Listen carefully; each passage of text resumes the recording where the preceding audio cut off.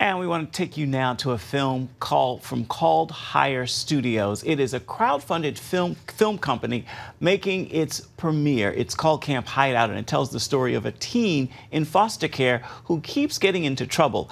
And then he's given the option to attend a summer camp or spend some time in juvenile hall. Are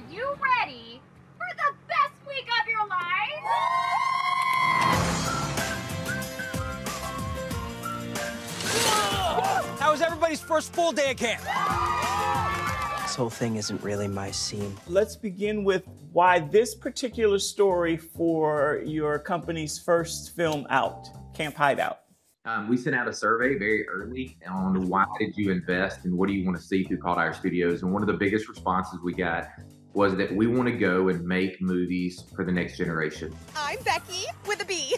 I'm Noah with a no. Okay. This story shows that Noah, who's from the foster care system, you know, really has some walls up because of experiences and things that that have just, you know, not gone right in his life.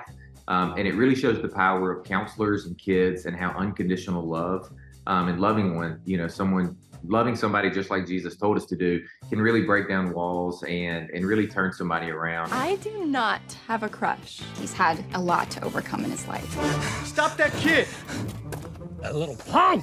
What was the process like? I can only imagine. I mean, you guys get a crowd-funded studio supported by Christians, and now you venture into actually making a film.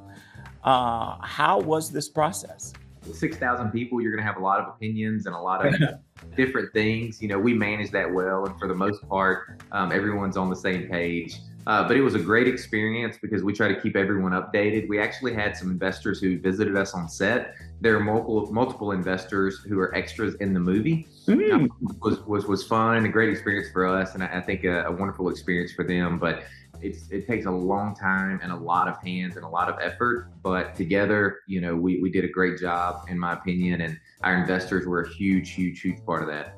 Tell me about the casting for this film. It's pretty impressive for a first run. Yeah we had some legends uh, you know come on set. Corbin Bleu's been acting since he was a kid.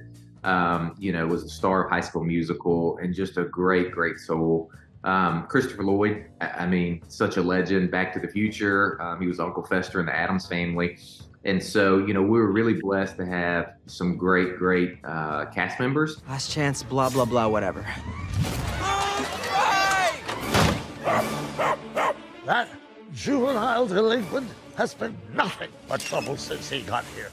What's your prayer for the project as it gets released? I hope kids um, see this movie and walk away with a little seed planted of the gospel in their heart so that um, if it changes them just in a little way that they can go out um, and put that into the world whether that is they go to school the next day and someone's having a bad day or there's a bully they, they choose to, take a different path and action with them and show them unconditional love and the love of jesus. Um, and at the end of the day I, I hope families just go to the theaters and have a wonderful family experience on a clean ethical film that um, has faith values and you know i hope that we get a chance to send hollywood a message that says hey this is what we want. This is the content that we want.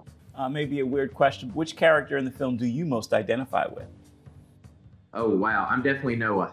Uh, I, I, say that because you know I was saved at a church camp uh, when I was 12 years old. Um, probably like like most kids, you know, I was a goofy kid that made some poor choices. Um, mm-hmm. but I had a lot of people in my life, whether it was counselors or coaches, um, that chose to to pour into me for whatever reason.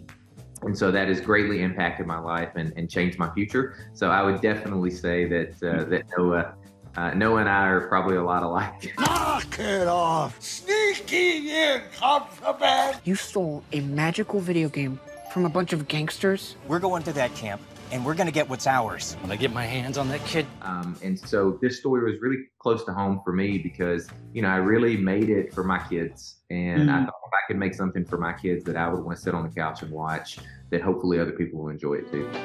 You don't think some people are beyond help? What are you guys doing here? We're all here for you. The summer camp adventure Camp Hideout is in theaters right now. Be sure to check your local listings to find a theater near